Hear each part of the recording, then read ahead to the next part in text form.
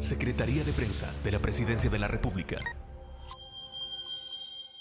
Con nosotros está la viceministra de Diáspora y Movilidad Humana, Cindy Portal. Qué bueno volverle a, recibir. Buenos días. Muchísimas gracias. Después de algunas semanas y algunos meses de no platicar. Así es. Pero hay muchísima información, especialmente para la diáspora salvadoreña.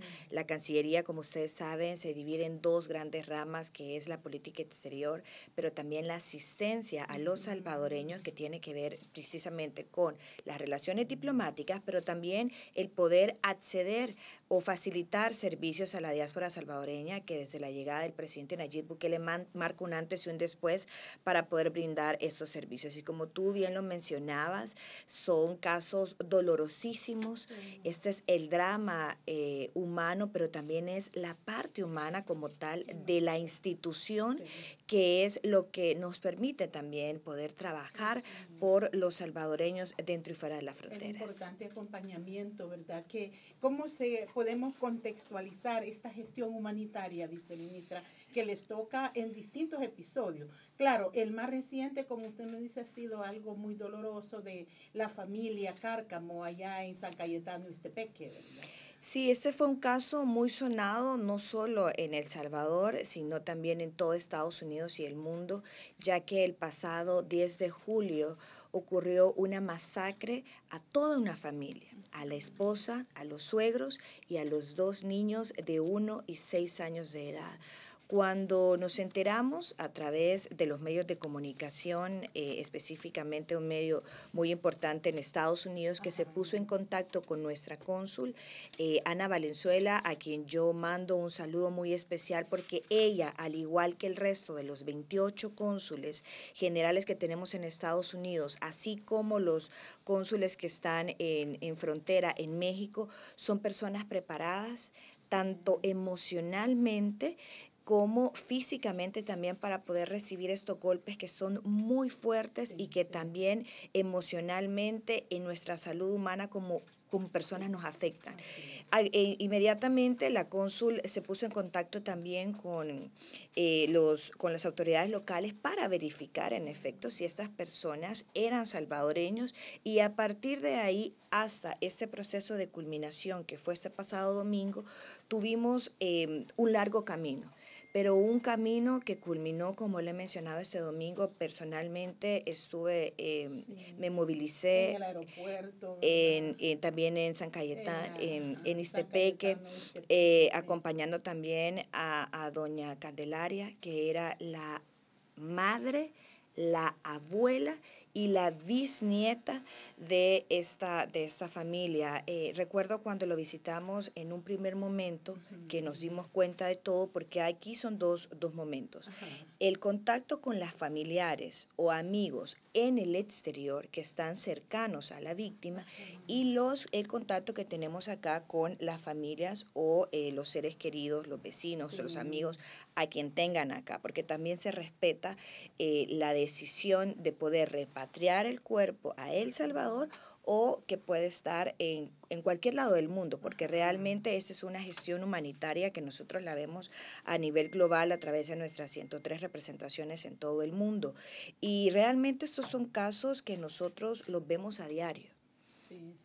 Pero eh, no necesariamente por casos que tengan que ver con violencia intrafamiliar, como en este caso, sino eh, alguna muerte natural, alguna muerte por enfermedad, que también la diáspora nos solicita a nosotros como acompañamiento en todas las gestiones. Y las gestiones tienen que ver no muchas veces en el sentido de poder eh, brindar económicamente el acompañamiento para la repatriación del cuerpo. Eso tiene que ver mucho con la celeridad en los procesos, los trámites, la asesoría, también ese acompañamiento integral que nosotros damos porque lo comentábamos eh, este, este fin de semana. No solo se trata de haber culminado con el proceso de velación y enterro de estas personas, de estas cuatro personas, sino también ahora entramos a una segunda fase que es el acompañamiento psicológico que se le va a dar no solo a la, exacto, no solo a la familia, sino también a todo este núcleo que vimos que fue una comunidad muy afectada precisamente por esto, que es algo que ha conmocionado no solo a El Salvador, sino también al mundo. De hecho, muy, eh, había mucha empatía, ¿verdad? Viceministra, según podemos observar en, en las fotografías y en los videos de la comunidad con la familia que estaba recibiendo allá en Estados Unidos. De hecho, crearon eh, un, en, todo, en toda la carretera, habían personas recibiéndolos con globos, con pancartas, había mucha conmoción, fue un ambiente de mucho dolor y de mucha consternación y eso también nos permite a nosotros reflexionar que la vida es hoy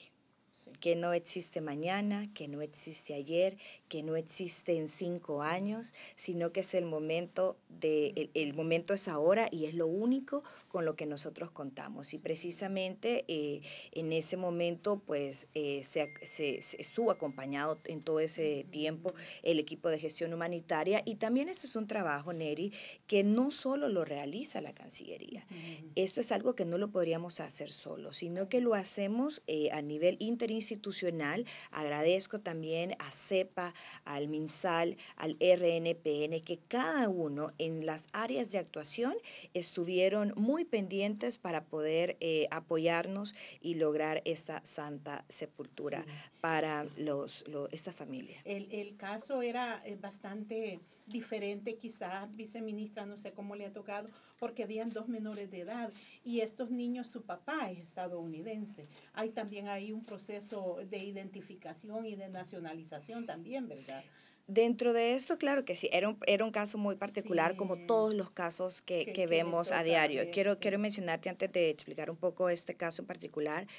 En el año 2024, este caso se suma a los 168 casos en gestión humanitaria que el Departamento de Gestión Humanitaria a través de la Dirección de Movilidad Humana y Atención a la Persona Migrante, que dentro de esta dirección nosotros vemos tres de los cuatro ciclos de la migración, estamos atendiendo. Y con ello estamos, eh, esto asciende a 45 mil dólares en apoyo que se les ha dado entre procesos de funeraria, entre procesos de repatriación y entre procesos como tales de logística, que esto es muy importante también que la gente lo sepa. Para el caso específico que usted menciona, en efecto, esos niños eran de padre eh, estadounidense, madre salvadoreña, que no fueron en su momento em, registrados ante el consulado. Y la única persona, el único familiar que tenían más cercano era la madre de eh, el padre de estas la, la, abuela materna, la, abuela paterna, sí, sí, sí, la abuela paterna. Ella dio la autorización para que los niños fuesen repatriados y que estuviesen pues al lado de su madre en este caso. Ahí interviene el RNPN o cómo es el proceso. Eh, el proceso es, eh, en efecto, nosotros por ser hijos, la Constitución de la República eh, reconoce que hijo de padre o madre salvadoreño automáticamente es salvadoreño y se acercan al, al consulado más cercano, tenemos 28 en, en todo Estados Unidos, y ahí interviene también la alcaldía el RNPN para que puedan estar nacionalizados. ¿Cuál fue el proceso también de ellos? El reconocimiento de las huellas dactilares para las señoras, para la mamá de los niños y para María Elena, que era la, abuela, de estos niños. La abuela materna, sí. Les ha tocado, en, eh, bueno, eh, traer eh, cinco cadáveres porque previo habían también hecho la repatriación de don Miguel Ángel. Sí, sí, sí. Este, esto ha sido muy difícil. El número de cuerpos es significativo, cómo es la gestión humanitaria y, digamos, el que la familia pueda esperar aquí y comprender que hay que esperar cierto tiempo. Sí, muchas veces y entendemos eh, que las personas quieran esta celeridad, pero también no dependen de nosotros. De, e, esto es casuística. porque tiene que ver con cada caso en particular que nos puedan primero el reconocimiento, que podamos eh, atender también a los, eh, en cuanto, o, que la funeraria tenga también esta capacidad, porque voy a poner un ejemplo, en un caso muy triste que nosotros atendimos en la Semana Santa del 2023, cuando fue el caso tan sonado de, Ciudad Juárez con las personas que murieron calcinadas. También estuvimos eh, allá directamente y como habían tantas personas, la funeraria no tenía eh, la capacidad para poder preparar los cuerpos de aquellos que estaban listos para ser repatriados, porque también eran personas que en su mayoría estaban calcinadas. Entonces, todo depende de, de casuística.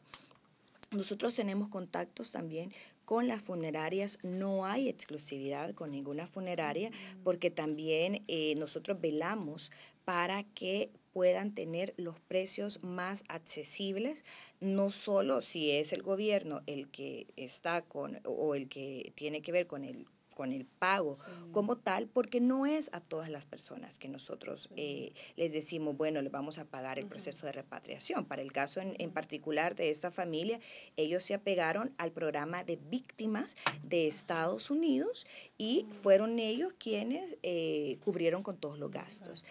Para otros casos siempre hay un proceso de estudio socioeconómico para determinar la vulnerabilidad tanto de la persona o de la víctima y eh, así como de la familia. Y es aquí donde nosotros también a nivel local trabajamos. Para el caso específico que de, este, de, este, de esta familia, también fue el alcalde que se movilizó para poder eh, atender a esta a la familia de las víctimas. Importante. Viceministra, eh, ¿cómo se contactan los compatriotas? Por ejemplo, eh, estos son casos extremos de los que hemos estado hablando, pero también ustedes tienen siempre habilitados números de teléfono. ¿Cómo los pueden contactar?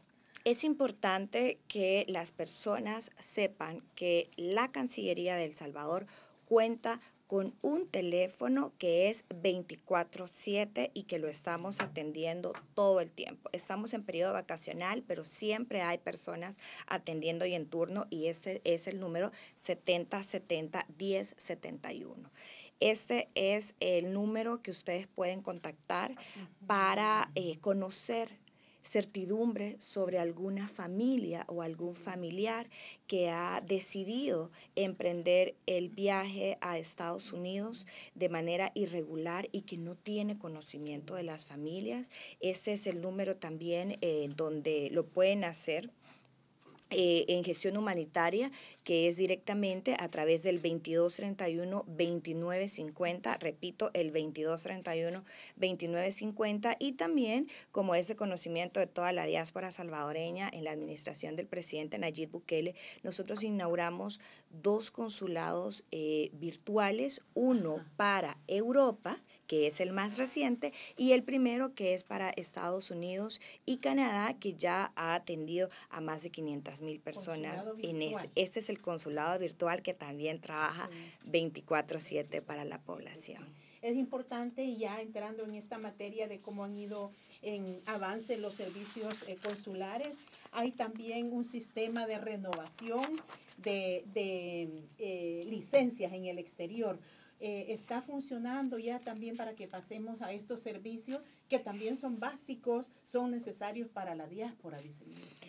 Yo recuerdo en el año 2019 que la Cancillería del Salvador era la institución peor evaluada de todo el gobierno.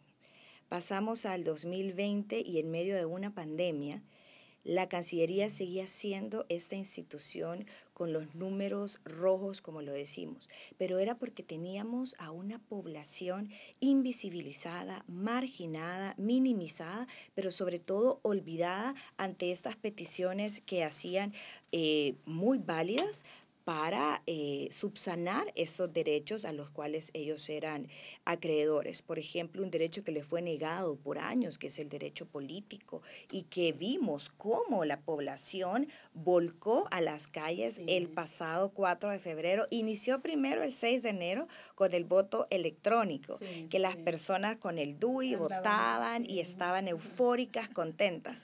Darle el gane a un presidente con el 98% en el exterior es un respaldo masivo de la diáspora salvadoreña, pero sobre todo es un agradecimiento también, es la respuesta a todos los problemas que ellos estaban solicitando que han sido subsanados. Estuvimos recientemente en en Houston, precisamente con el viceministro Reyes, el viceministro de Transporte, inaugurando, como tú bien lo dices, la renovación de las licencias. Y mientras él platicaba, yo estaba haciendo la lista de todos los servicios que nosotros tenemos en los consulados. Y la diáspora salvadoreña, que sé que es muy fan de este espacio y que te escucha todos los días, no me va a dejar mentir. Yo les mando un saludo a todos también, que por, por ellos trabajamos precisamente. No me van a dejar mentir que en los consulados tenemos ATM de Chivo, un cajero automático para que las personas puedan comprar Bitcoin y que también puedan enviarle a sus familiares. Ventanilla del el Banco de Fomento Agropecuario. Ventanilla del el Banco Hipotecario. Tenemos también del Fondo Social para la Vivienda. RNPN, Defensoría del Consumidor. Y esto se suma a la renovación de licencias de conducir, que es una deuda saldada, algo que la diáspora salvadoreña, principalmente en Italia y en España, lo estaban solicitando porque les sirve precisamente a ellos para poder homologar también la licencia que les permite poder eh, conducir, en, estos países. Exactamente. Y en efecto fue en Italia, en donde el pasado 14 de julio, en una gira, en el marco de una gira por Europa que esa servidora tuvo, se suscribió el convenio de cooperación entre el Ministerio de Relaciones Exteriores y el Ministerio de Obras Públicas, en donde en Europa ocho representaciones pueden acceder a la licencia de conducir, es decir, renovación, en este caso, que es muy importante. Barcelona, Roma, Milán, Sevilla, Berlín, Estocolmo y París. Y algo muy importante que eh, los más de 65 mil salvadoreños beneficiados en Europa deben de saber, así como los más de 650 mil en Estados Unidos, que fue lo que nosotros ya inauguramos en 10 consulados en Houston, bueno, en todo Texas nosotros tenemos cinco consulados. Ajá, McAllen. nos están inscribiendo de Texas, fíjense. Ok, entonces para nuestra gente en Texas, atención, porque tenemos eh, este, este, la renovación de este servicio en todo Texas, que es Houston, Dallas, McAllen, El Paso, San Antonio, y también en otros consulados como Duluth, como Boston, como Long Island, como Springdale, eh, entre, entre otros. Y lo más importante, Neri, que la gente tiene que saber era cuánto nos va a costar este proceso de renovación, de las licencias. Cuesta exactamente lo mismo que le cuesta a un salvadoreño en El Salvador. Y está muy, muy fácil porque yo lo probé también, pero decía, mi licencia está vigente, entonces no había por, qué, por, qué, por qué cambiar. Pero eh, en efecto es muy fácil, es una plataforma muy amigable. Tienen que ingresar a la plataforma de Certracen y ahí acceden a todo el paso a paso para hacerlo.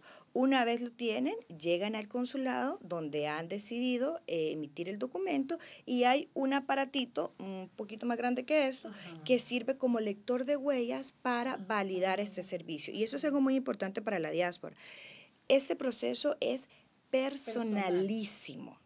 Lo que significa que usted no le puede decir a su mamá, hágame el favor de traerlo, a su esposa, a su hijo, porque van a validar con las huellas dactilares y de repente van a decir, pero es que han pasado 24 años y, cambió mi, mi, huella o lo que sea, o si hay algún problema en la lectura de las huellas, también se puede hacer vía facial. Esto es muy importante y sobre todo para la diáspora. En Centroamérica también, que nos está escuchando y viendo.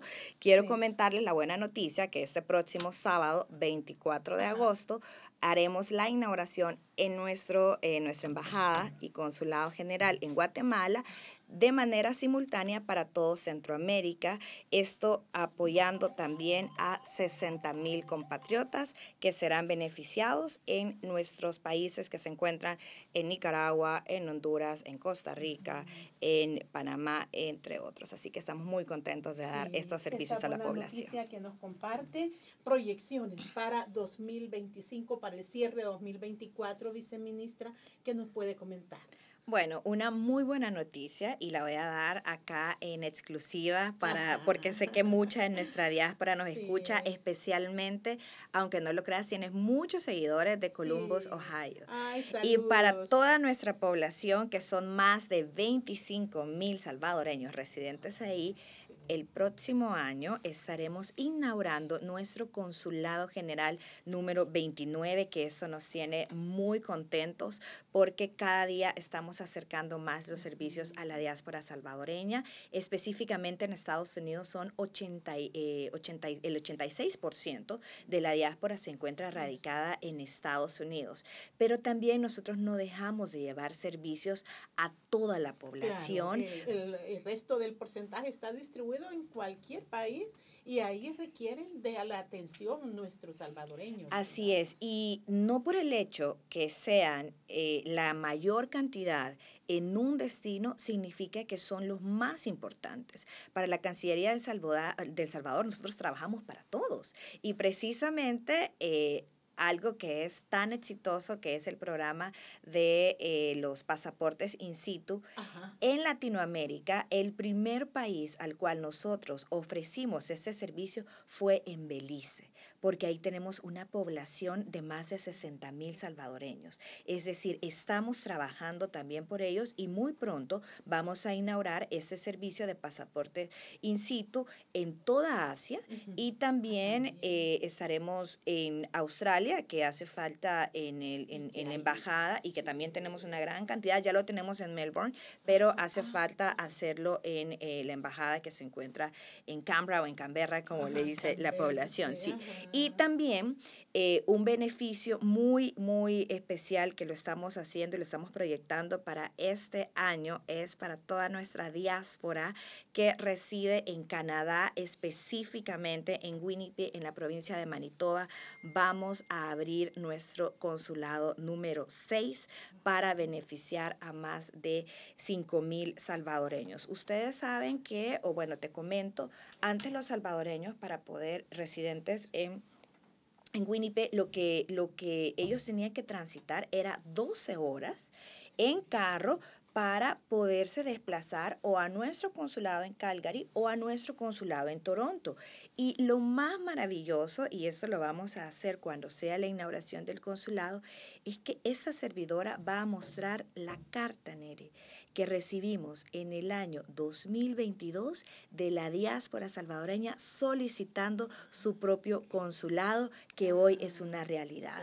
Porque cada petición eh, de la diáspora salvadoreña nosotros la hacemos realidad porque es el mandato del presidente Nayib Bukele. Así que en los próximos, en los próximos meses estaremos inaugurando dos nuevos consulados, el consulado en Winnipeg, Manitoba, en Canadá y también en Columbus, Ohio, para beneficiar a más de 20 mil salvadoreños. Aquí la saludan, dice saludos a su invitada desde Utah. Les saludo y gracias a la gestión del presidente Bukele, nosotros ahora tenemos un consulado aquí en Salt Lake City.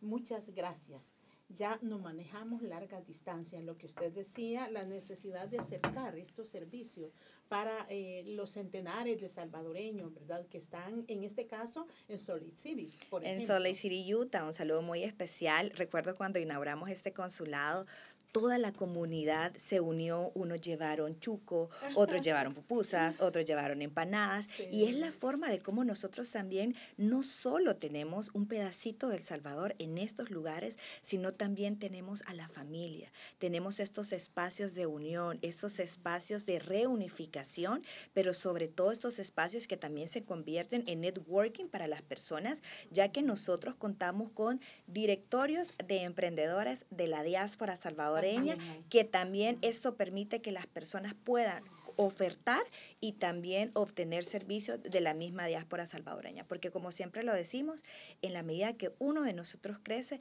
crece nuestra comunidad, crece nuestro entorno y por supuesto aquí en El Salvador, el país, los lugares de origen. Hay eh, la atención de menores, yo cuando leí esto de el CONAPINA en el exterior, eh, viceministra, pues uno sabe de cuántos problemas ha habido con menores y qué necesario es también que los marcos de protección se puedan habilitar en el exterior. ¿Cómo funcionará este servicio del Consejo de Atención a la Primera Infancia, Niñez y Adolescencia, CONAPINA?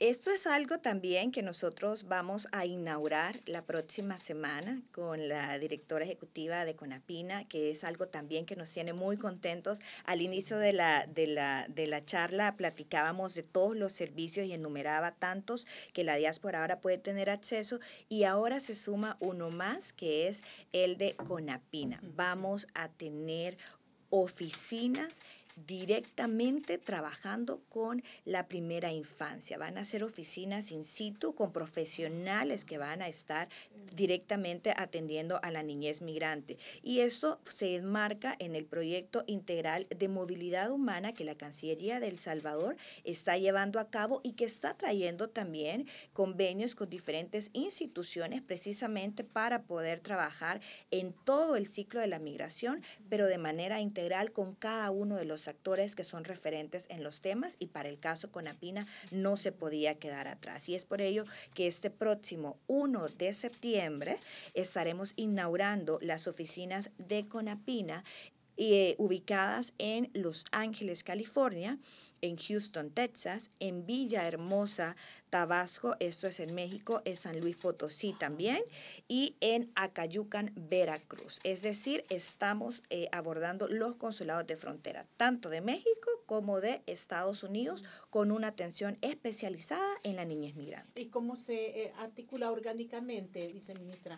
¿Hay personal de CONAPINA que se va a sumar o se ha capacitado a personal que ya estaba con carrera diplomática? Son profesionales que están siendo destacados desde CONAPINA a los, eh, a los consulados. Y es exactamente lo mismo que sucede con eh, los funcionarios del RNPN, los funcionarios del Banco Hipotecario, los funcionarios del Banco de Fomento Agropecuario, los funcionarios del Fondo Social para la Vivienda. Son personas que trabajan en las instituciones acá locales en El Salvador y cada titular decide a dónde los van a enviar de acuerdo pues a, la experiencia, a los perfiles que se están buscando. El programa de movilidad laboral, usted eh, recientemente también ayer estaba firmando un convenio, viceministra, ¿cuáles han sido los resultados y cómo ha sido, digamos, la acogida que tiene este programa? Este es un programa que se suma a la gran sombría que nosotros tenemos en Cancillería que se llama Transformando Vidas. Y esto nosotros eh, trabajamos precisamente porque la migración sea una opción y que no sea una obligación como era en el pasado. Las personas habían perdido todo, que perdieron también su miedo a perder la vida. Y eso fue lo que pasaba. Pensaban, o me matan en mi país o me matan en el camino, pero ya la vida no valía nada.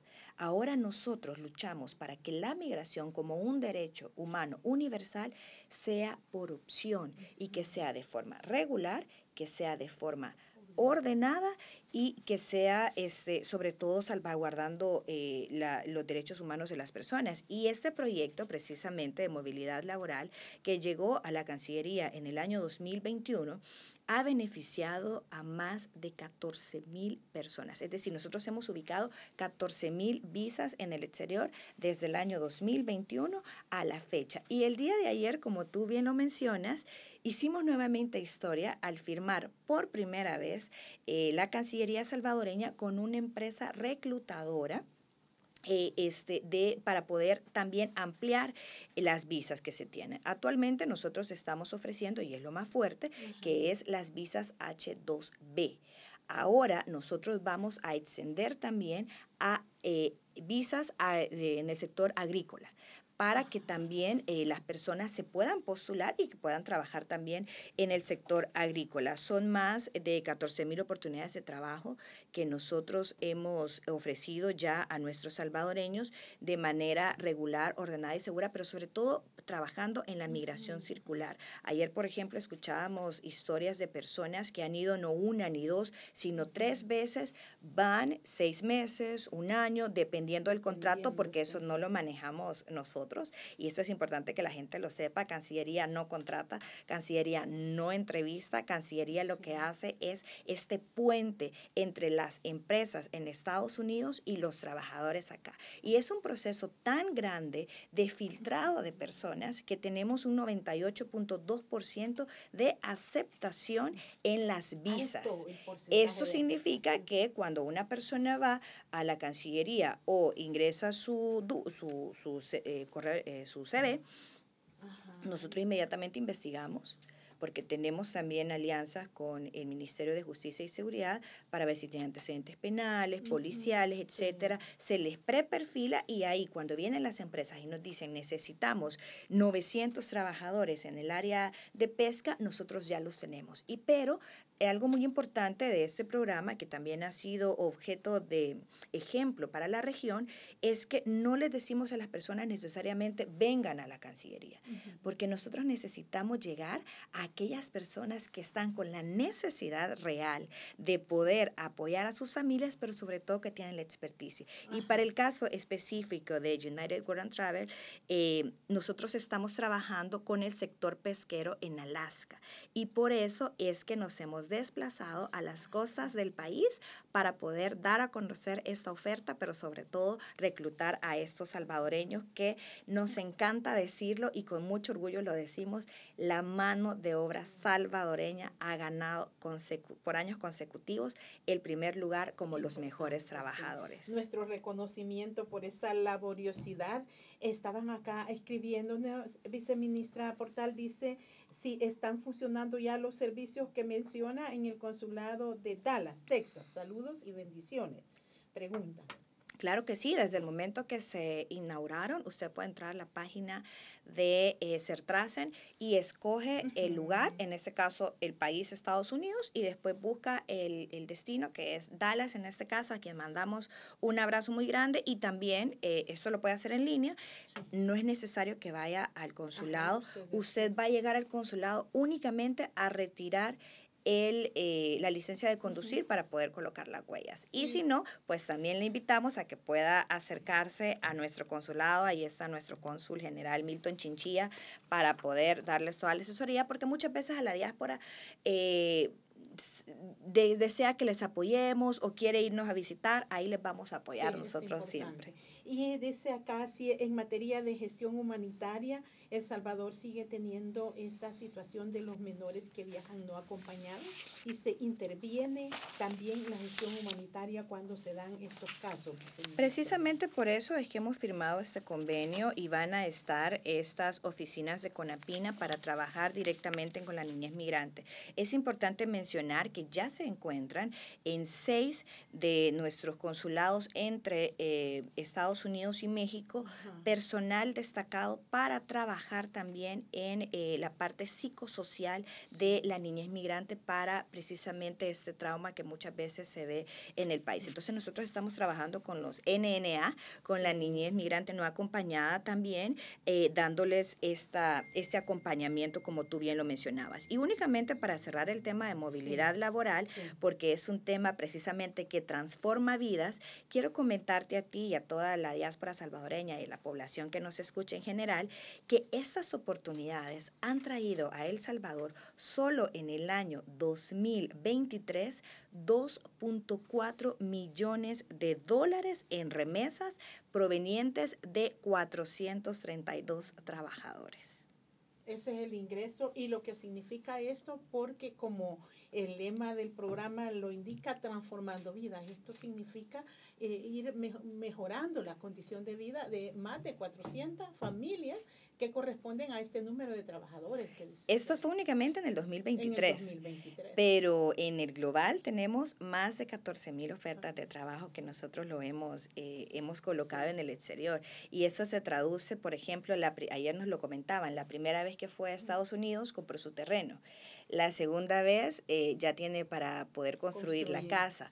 Pagó una deuda de 16 mil dólares que tenía con alguna cooperativa. Es decir, transforma vidas, puede poner una tienda, sí, y es algo que a nosotros nos impacta, nos llena y lloramos, pero de mucha felicidad de ver cómo realmente se transforman vidas. Así que para las personas que quieran registrar su candidatura, la invitación es para que puedan llamar al 7070-1243 o que también puedan ingresar a usaempleossb.org para poder ingresar la candidatura. Y si no, también pueden ingresar haciéndolo a través del correo electrónico movilidadlaboral.rree.gov.sb.